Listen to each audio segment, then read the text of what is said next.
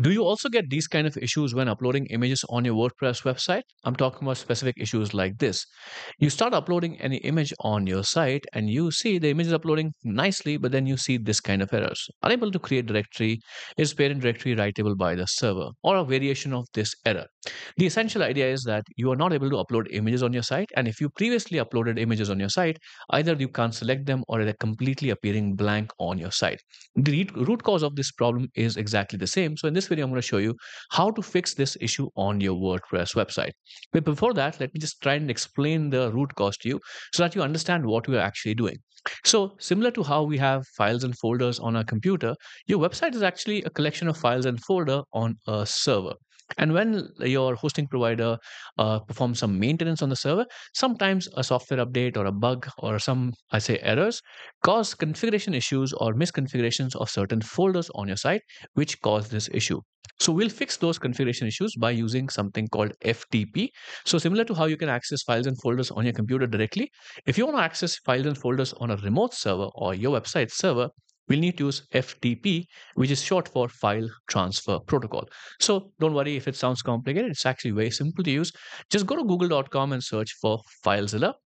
It's an FTP client that you can use to connect with FTP or connect via FTP to the remote server. And be using FileZilla and your FTP credentials to connect to your site, and then we'll fix the all the issues that your website is having. All right, so just go to FileZilla like this, and I'll just open this uh, in a new tab, how the website looks like.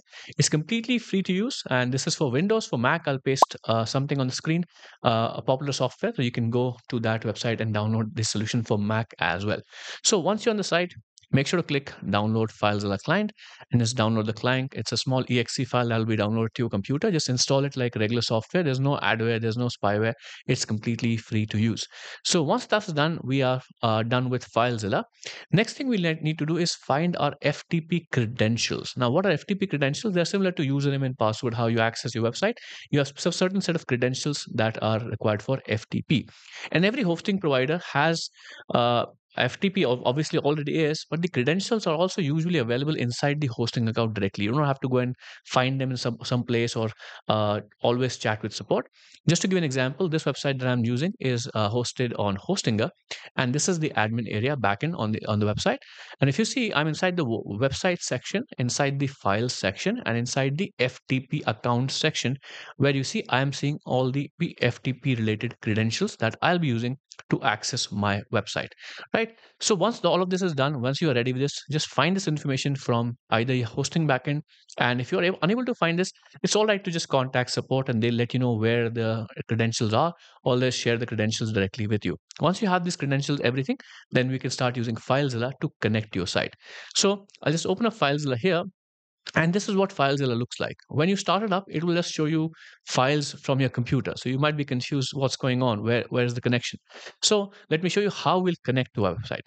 So you'll go into the file section and inside the file section, you'll go to the site manager because let's say, for example, you have 10 different websites. You can just save the credentials. You can connect to different websites quickly. Now, I already have finished the process here. You can see this here, but I'll show you how to do this yourself. So what I'll do is I'll just put this a little to the side off screen and I'll just open the site manager once again so I can just show it to you. So if you see all these credentials are exactly the same, but I'll start new for, for, from scratch just to show you how the process is done. So once you're here, you won't see the new site option. You can click the new site button here and also rename this. So you can say, hey, it's my site. So once you've done this, rest all you have to do is just fill in the information here. So I'll just give an example here. FTP, the protocols remains FTP. The host is where you enter the IP address. So I'll just first, so it works. So I'll copy the IP address. I'll paste it here. Encryption is fine. Port number is 21. You can just do it. Sometimes it all auto detect the port number as well. That come also works. Then the username is the username here. We'll copy this here and the password is obviously not visible on the screen. So you have to have the FTP password. Sometimes the hosting provider will display the password on your admin area, but sometimes they'll not do it. For example, if you see here, if I make this once again, I didn't have the option of looking at my password. I can reset my password. So I just what I did, I changed my password to something that I have off screen and I've already saved those credentials in the FTP client FileZilla. So once you've done all of this, just click OK to save your changes, right? So they'll be saved. So if I click OK right now, it'll be saved. And once again, if I go back to my site manager, you'll see the new site option is visible here which was uh, what I created previously. And the my site is the new one, which doesn't have the password.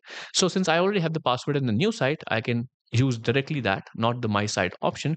And once you're happy, once everything works or everything is set up for you, just uh, click the appropriate site. For example, I have the new site uh, selected, which has all the credentials in.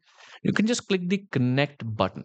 Right, so if I click the connect button, this FTP client will connect to my website's files and folders or server, and then I'll see the files and folders on my server, and then we'll fix the permission issues. So once I click connect, I have this set to a green color so that I can signify that, hey, I'm connected to my server. And you'll see these are the actual files and folders of your WordPress website. You have all these folders, all these files. We don't have to mess with everything. We just need to go into the WP content folder first. So click double click WP content, and I'm inside here. And inside here, you see the uploads folder. You can double click on that to enter that as well. But sometimes you have issues like this, and this is what we're trying to fix. So inside the upload folders, just to give an example, if accidentally you go inside a folder, for example, I am inside the WP content folder, just double click on the double dot folder, which just means that you can go to the parent folder. So you just go one folder up. So that's completely fine. So once again, WP content uploads folder is what we are interested in because whenever we upload images, the uploads folder is where the images actually go. So I'll right click the uploads folder and you see this file permissions option. This is what we need to configure. So I'll click the file permissions and you see a kind of a dialog box will open up with different variety of permissions. Don't worry, you don't need to memorize it. Just follow the steps I'm going to show you on the screen. So instead of messing around with these, just look at the numeric value. Right now set to 444, which is what is causing the issue. I change this to 744 and instantly you see some of these changes will be applied and that's completely fine. That's the intended thing. And once you have 744, make sure to enable this option, which is recurse into subdirectories and also just change this to apply to directories only. The last part is also important. So I'll repeat what we did. We looked at the upload uh, folders properties or the file permissions.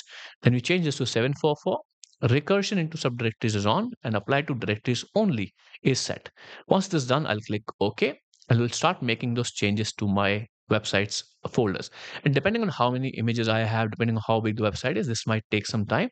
But once it's done, you'll see, hey, content listing successful and nothing is happening here. While the processing is being done, you'll see these lights light up constantly. So now they are um, done. So I'm not seeing any changes here.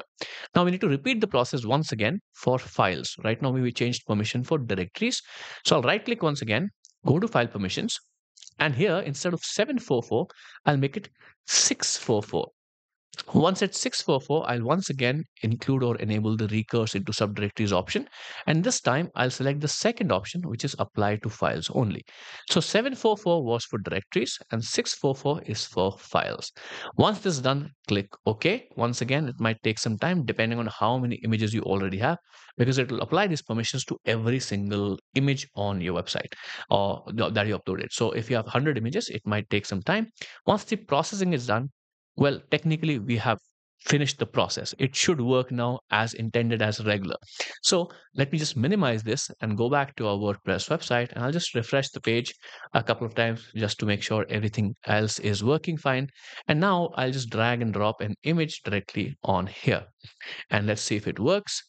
And it should work fine. Now, the image is uploaded, but sometimes there might be some caching issues because I'm testing this out a few different times, or you might see this. Now, in this case, I'll recommend you try and make one more change on your FTP service or FTP account. I'll just go back to FTP here and go back to uploads here right click and change file permissions once again. And instead of 7444 directories we'll try and just make this 755 because sometimes you have some issues with 744 so if, if you if if only you have issues just like this where even after making it to 744 you can't see the images then make it 755 make sure to change the recursion to directories only. This is important. 755 recurse apply to directories only. Let's click ok and then just wait for it to finish. This might take some time and I'll just refresh it once again. And now it's working. So I'll just add a couple of or uh, upload a bunch of images to the site just to give you a demonstration that this is intended. So I'll be uploading, I think, four or five images at once, and all of these images should work absolutely fine, right? So beautiful. All these images are now being uploaded. They are being shown here. You can see those images directly. And if you add them to posts, pages, or all the existing content in your site, if you used any of these images, they should just start working normally on your website as well. So that's the process. That's how you fix file permissions inside WordPress or that's how you fix image upload issues in WordPress by fixing the file permissions on your server using FTP. If the solution worked for you, let me know in the comments that it worked for you, or just press the like button. That works too. In case you have any other problems with WordPress, let me know in the comments so I can help you solve those by pointing you to the right videos or just creating new videos about this. You're watching Yuvraj from the WP Beginner channel, and I hope to see you in the next video very soon. Take care.